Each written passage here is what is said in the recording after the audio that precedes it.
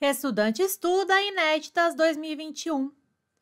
Quanto à aplicabilidade das normas constitucionais, é correto afirmar que é exemplo de norma constitucional de eficácia plena o artigo 2 da Constituição Federal de 1988.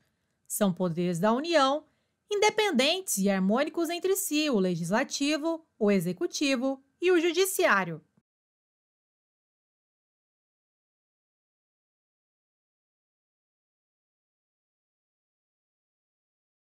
Item correto: normas de eficácia plena.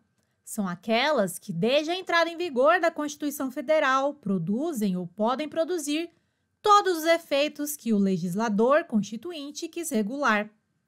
Por exemplo, CF 88, artigo 2.